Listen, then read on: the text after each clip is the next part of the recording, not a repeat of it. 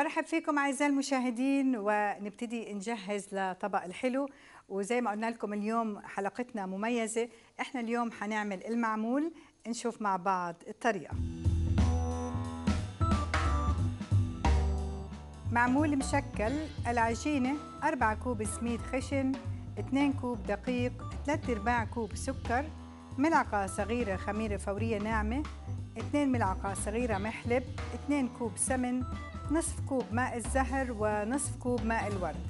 حشو الجوز كوب جوز ناعم ملعقة صغيرة قرفة 2 ملعقة كبيرة سكر 2 ملعقة كبيرة ماء الزهر. حشو الفستق كوب فستق حلبي ناعم 2 ملعقة كبيرة سكر 2 ملعقة كبيرة ماء الزهر.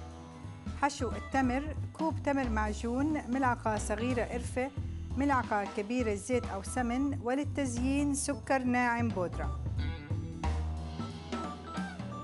أعزائي المشاهدين كلمة معمول على طول مرتبطة عنا بالعيد. أتمنى أنه دائما أيامنا حلوة وعيد يكون مبارك.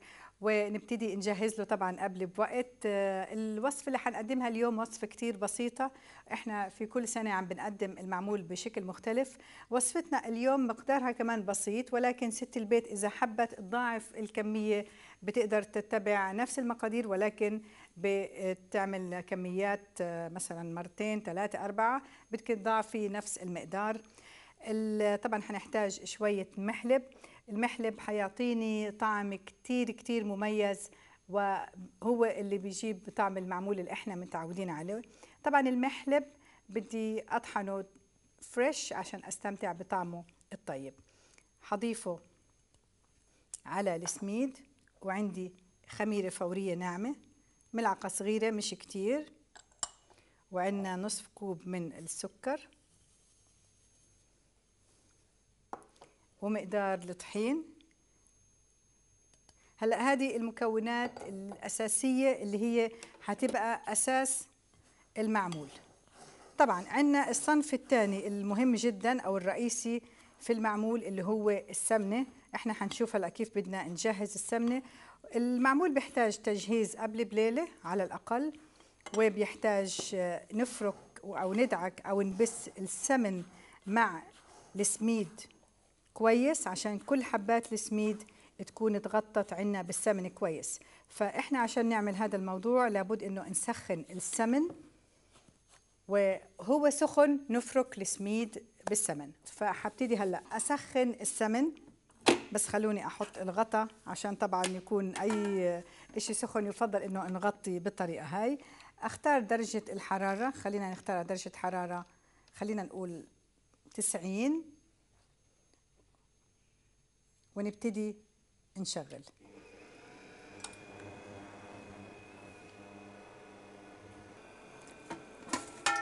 أعزائي المشاهدين نبتدي هلأ نضيف السميد. بعد ما عندي طبعا خلوا بالكم بيبقى كتير سخن لأنه مقدوح يعتبر. أضيف خليط السميد. إحنا حطينا بتتذكروا السميد مع الطحين والمحلب والسكر والخميرة كله سوا. خلوا بالكم لأنه ممكن تطلع فقاعات بس فعشان هيك لازم نتأكد إنه إحنا حطينا الغطاء بهالطريقة. حوقف هلأ التسخين خالص وأبتدي بس مجرد إني أحرك هالمكونات سوا. لغاية ما السميد يختلط مع السمنة.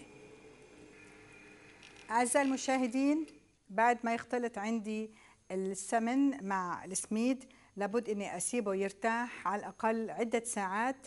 هون ممكن أسيبه طول الليل إذا صار عندكم مجال. نشوف بعد هيك خطوتنا الثانية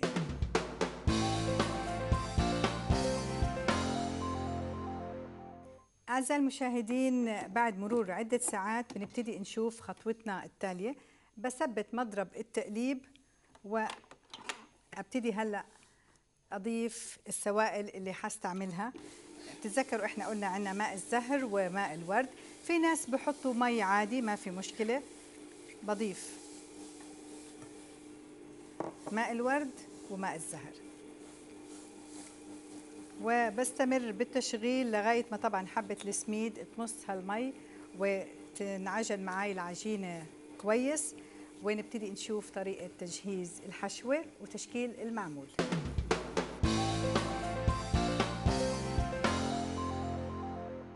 أعزائي المشاهدين بالنسبة لتجهيز الحشوة عندنا الجوز يبقى عندي مطحون بالشكل هذا أو مجروش إذا حبيتوا حضيف السكر حوالي 2 ملعقة من السكر وإذا حبينا نضيف له رشة من القرفة بيبقى طعمه طيب يعني مع القرفة.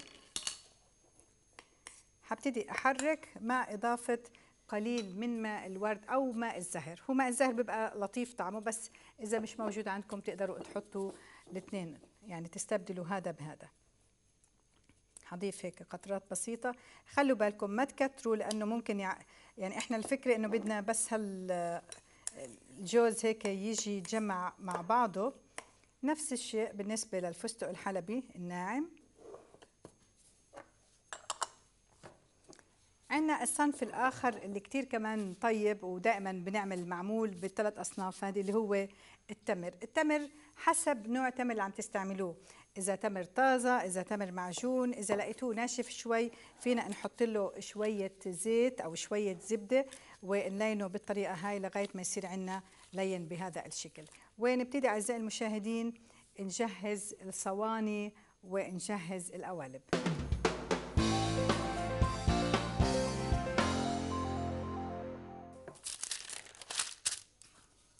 أعزائي المشاهدين بالنسبة لقوالب المعمول طبعا قوالب المعمول تراث عميق يعني.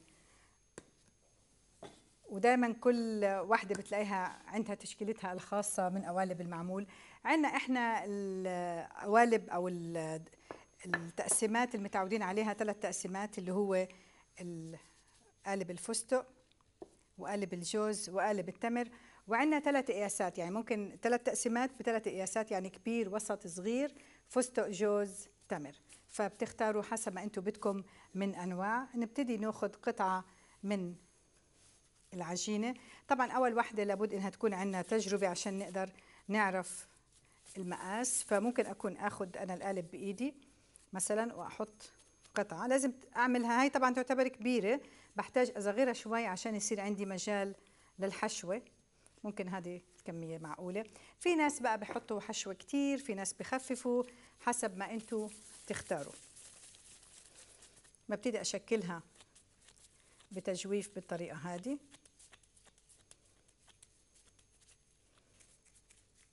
وأحشيها حسب القالب اللي أنا بدي أستعمله. هذا إحنا حنعمل واحدة بالفستق فنحشيها بالفستق بهالطريقة هاي. كل ما كترنا الحشوه كل ما كان أطيب. طبعا عشان هيك بنقول شغل البيت دائما مميز عن شغل السوق لأنه ست البيت بتقدر هيك تشتغل براحتها وتحط حشوة براحتها. ببتدي أحط قطعة العجينة في داخل القالب أضغط عليها كويس وأبتدي أطرقها.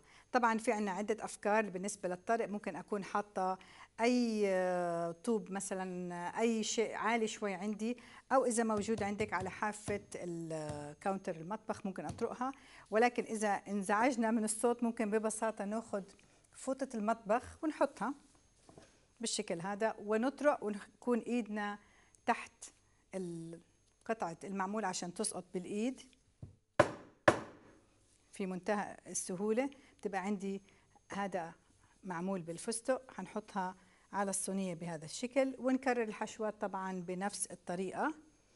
نختار برضو إذا حبينا وحدة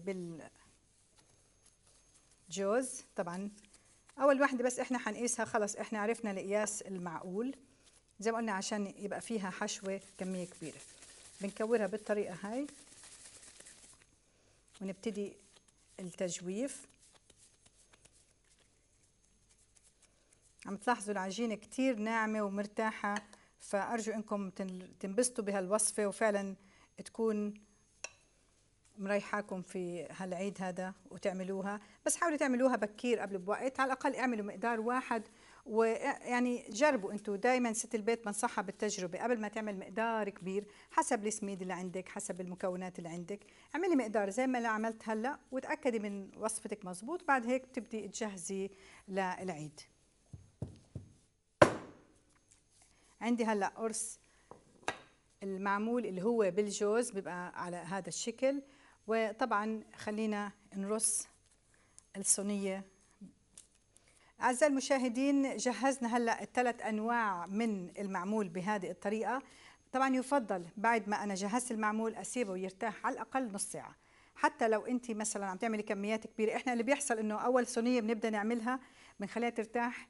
لأنه بنقعد نشتغل ساعتين ثلاثة فبتكون ارتاحت. بس إذا أنت وقتك ضيق أو كمية صغيرة اللي عم تعمليها فاعملي حسابك إنه أول صينية ترتاح على الأقل أو اعملي كل المقدار وسيبيه يرتاح مرة واحدة. ادخلي على مرحلة الخبز.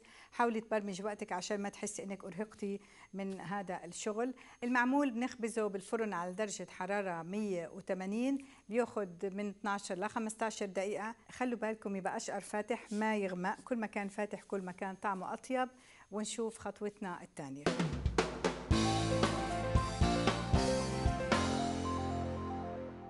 أعزائي المشاهدين خطوتنا الأخيرة طبعا وهي من أحلى الخطوات اللي هي رش المعمول بالسكر الناعم.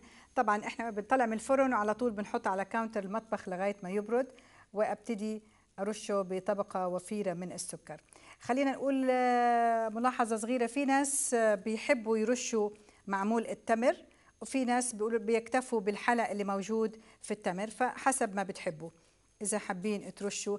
أنا حطاه على قطعة من ورق الزبدة فعشان طبعا السكر هذا برجع بشيل حبات المعمول وبستفيد من السكر ما بخسره لأنه عادة إحنا بنعمل كمية كبيرة ف بنقيم وبنحط وبنرجع بندخل السكر تاني فلا بد إني أغطي المعمول بطبقة وفيرة.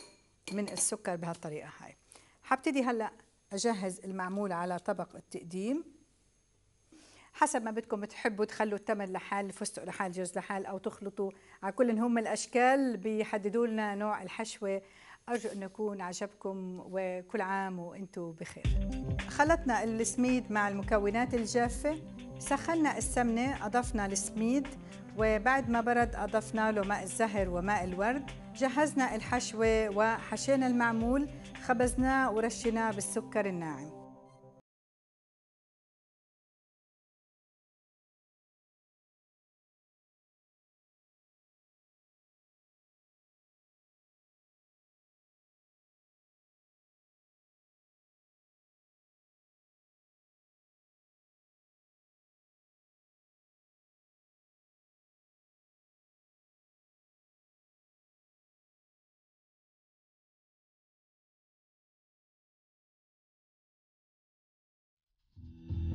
معمول مشكل العجينة 4 كوب سميد خشن 2 كوب دقيق 3 أرباع كوب سكر ملعقة صغيرة خميرة فورية ناعمة 2 ملعقة صغيرة محلب 2 كوب سمن نصف كوب ماء الزهر ونصف كوب ماء الورد.